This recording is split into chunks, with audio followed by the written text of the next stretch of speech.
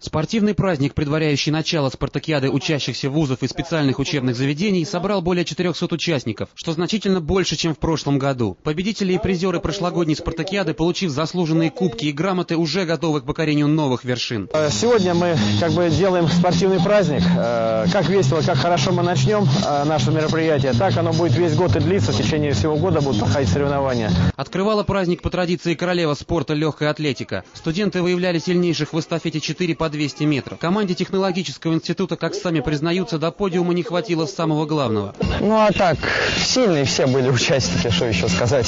И как итог, какое место? Ну итог четвертое место в эстафете, вот.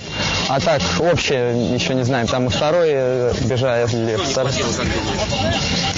Скорости. Всего любителям спорта приготовлено 8 видов спорта. Для самых сильных гиревой спорт и подтягивание на перекладине. А кто-то больше предпочитает командные виды. Ну, футбол. Лучший футбол. А потом понял волейбол, но еще я не вижу здесь волейбол. Спартакиада стартует уже совсем скоро и будет проходить в 13 видах программы, один-два раза в месяц. Андрей Жиляев и Денис Еременко для программы «Оперативный эфир».